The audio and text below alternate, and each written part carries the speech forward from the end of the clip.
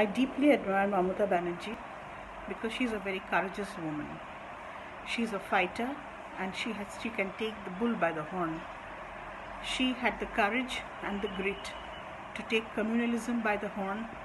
She's a fair person, she's a humane person, and she is a true leader. Bengal had for a long time been looking for a leader like her.